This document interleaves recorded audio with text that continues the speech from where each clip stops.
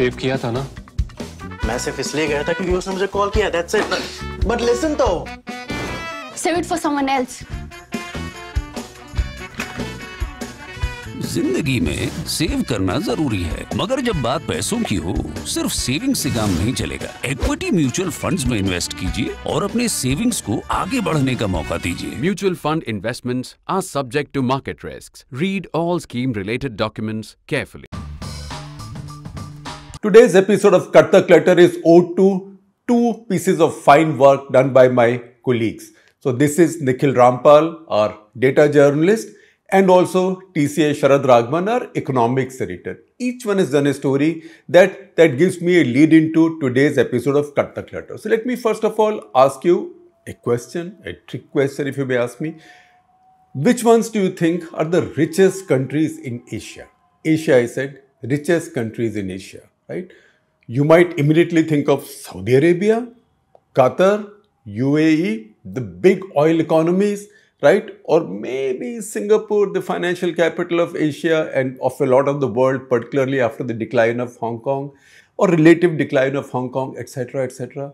But does the name of a country called Israel come to your mind? Then, if I told you that Israel, in fact, today is not only the third richest country in Asia, the third richest after Singapore, which is basically one city state with a lot of expats and a kind of financial capital. So, Singapore, then Qatar, which, which, which is almost entirely an oil and gas economy.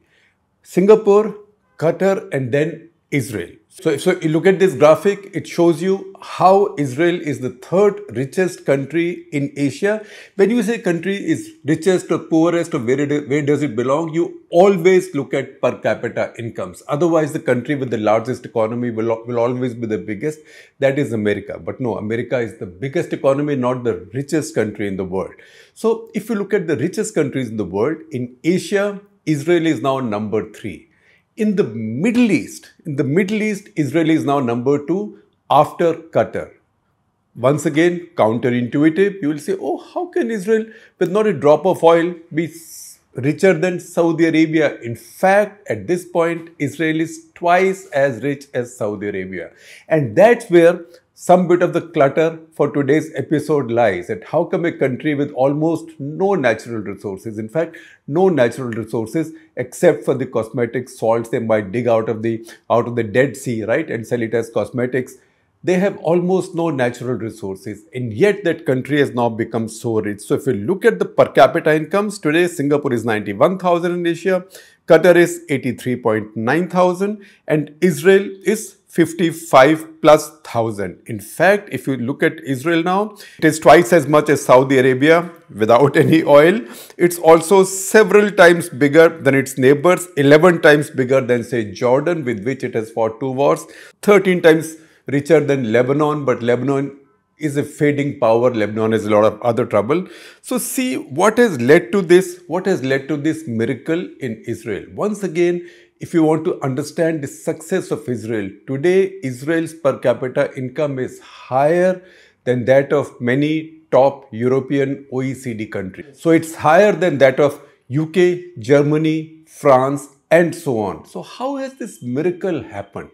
Look at Israel, and as I speak, you will see some of these graphics. You've already seen the graphic of comparisons of Israel's per capita GDP in Asia, but also see where Israel has come from. So, Israel was a broken economy.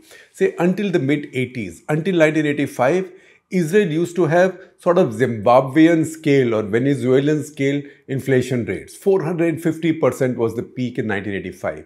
And that's when, when I first went to Israel in 1991, I was told, oh, this is the country where they keep knocking off zeros from the value of their currency. That was the shekel, right? 1985, they had the peak of that inflation. Peak inflation, really broken economy, shortages, and a big welfare economy. Then the politics of the country changed and the economy of the country changed. Between 1985 and 86, the country carried out a big stabilization plan, bankrolled by the Americans under the Reagan administration, and you would expect that Ronald Reagan would then say, look, carry out economic reforms and I will give you money conditional on economic reforms. So Israel carried out those economic reforms and that led to a massive change immediately.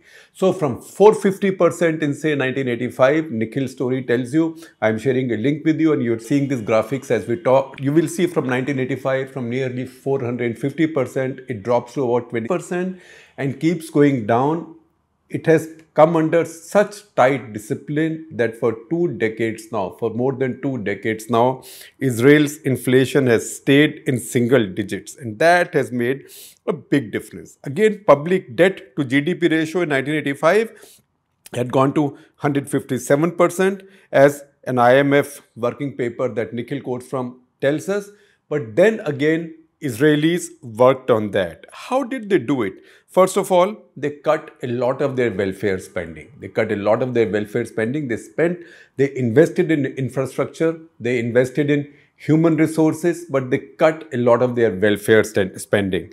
Second, they devalued their currency. I know that this is the era of currency nationalism, which will feature, which is a fact that will feature in the second part of this episode of Cut the Clutter. That is, that draws from TCA Sharad Raghavan story. So currency nationalism, they dropped all notion of currency nationalism. They devalued their currency heavily and made their currency more competitive. As a result, see how Israel's per capita incomes traveled. Again, if you look at this IMF working paper in 1986, Israel's per capita income, very small population, even now it's just about a crore of people.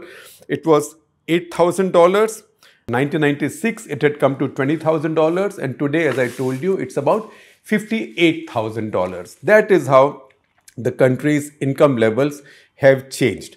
Now, what does, what does Israel do that has brought about such a change? So, even in 1996, in the first, de first decade of its stabilization program, Israel was already spending 2.6% of its GDP in research and development. How much was that in 1996? If you want to understand that, that was more than what the Americans were spending as a percentage of their GDP. And you might say, oh, America's GDP is so large, so comparisons don't apply.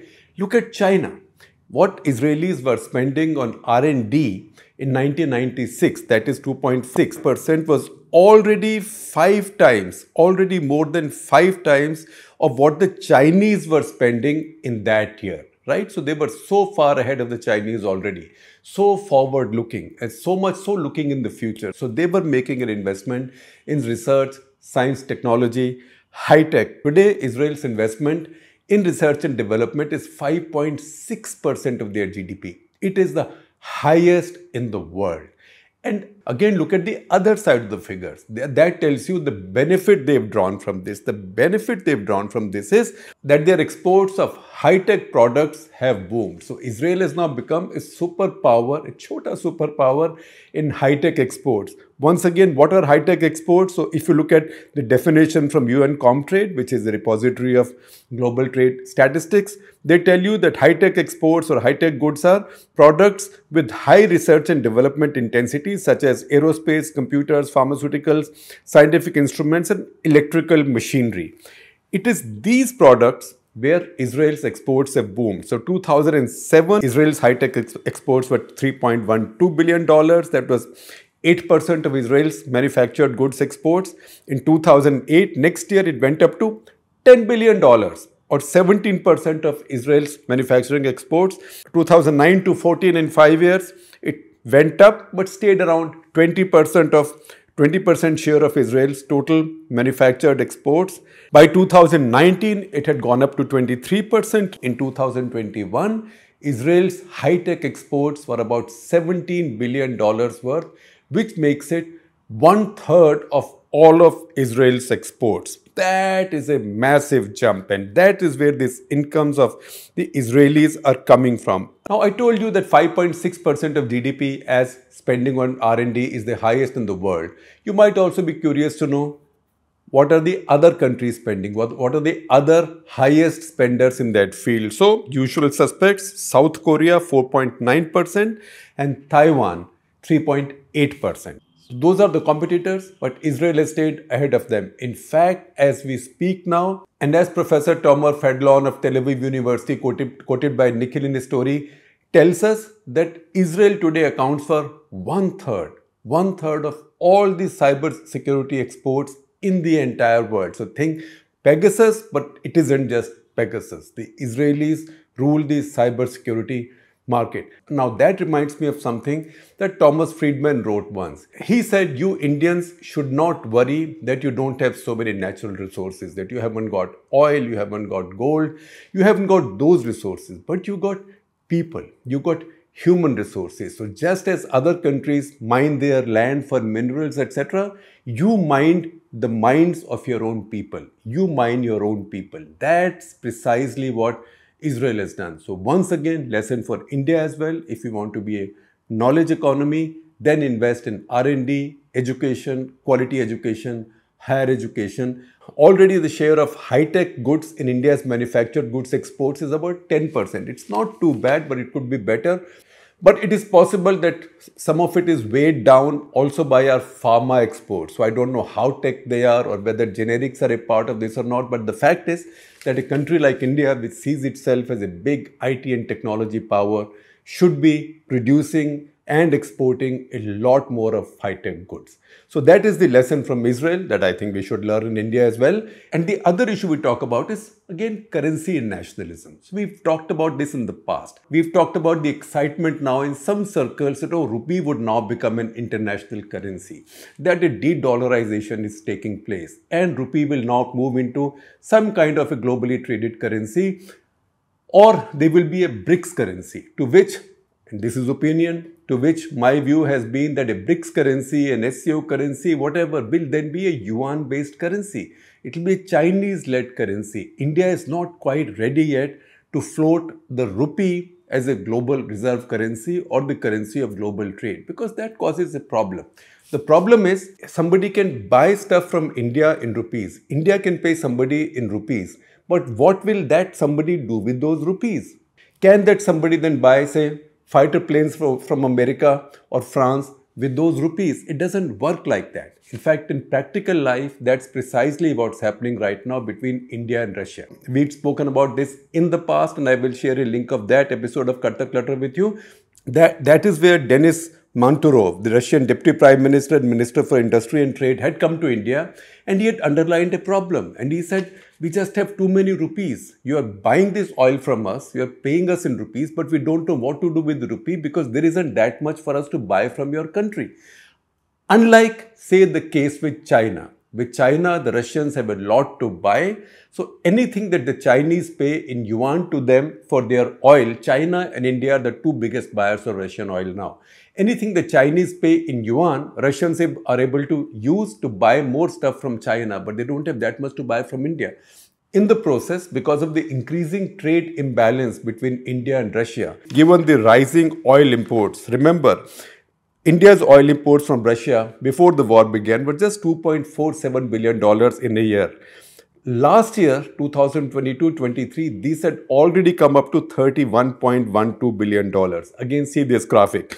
So this is a rise of 1100% in one year. In fact, oil imports from Russia were just 2% of India's basket of oil and gas imports from the entire world. Now it's gone to 19. What's happened in the process is that in 2021-22, whereas in 2021-22, India's trade imbalance or trade deficit with Russia was $6.6 billion. In 2022-23, it had come up to 43 billion dollars. It's not as if it's adding to India's entire trade deficit. It's just that this deficit has been shifted, say, from Saudi Arabia or Iraq or the US, other such countries from where India was buying oil earlier.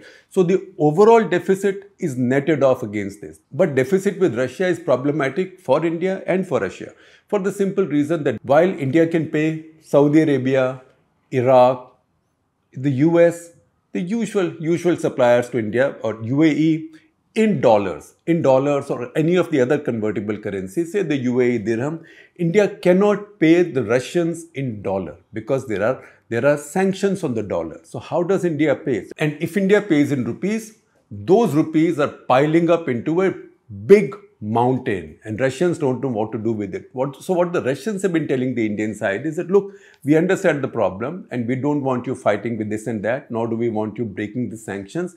But can you pay some of it in a currency that we can use? Now, for some time, India was using dirhams to do so. But remember, dirham is also a dollar linked currency and there are limitations to what the Russians can buy with the dirham also because they can't convert it into the dollar while dirham itself is a dollar linked currency. So that's why the Russians, they haven't pushed for it, but they suggested to the Indian side that can you pay us some, some of it back in yuan? And lo and behold, Reuters had a story on this some time back, and then we thought we'll check on it, and that's how Sharad Raghavan's story came in. See Sharad Raghavan's story on your screen and we found out that about 10% value of our oil purchases from Russia, now we are paying back to the Russians in Chinese yuan. Where does this yuan come from? I don't know. If we are using our dollars to convert this into yuan, that will be tough because that I'm not a hundred percent, but that might be seen as a violation of sanctions. I'm not a hundred percent on this. But the fact also is that officials tell Sharad that since we also export quite a bit to China, we have a deficit, but we still export quite a bit to China. Some of that is paid for in yuan. And that yuan is now being used to pay the Russians at least to the equivalent of 10% of all our oil imports. So once again, it's a reality check on the idea of currency nationalism. So it's not as if rupee is becoming an internationally traded currency yet. Rupee is not ready yet for that. There is still time for that. On the other hand, because piled up rupee has become such a problem even between two friends like India and Russia. So what is the result? India is having to lean back on the yuan, the currency of the Chinese. Never mind, never mind our super friendly relations with our northern neighbor.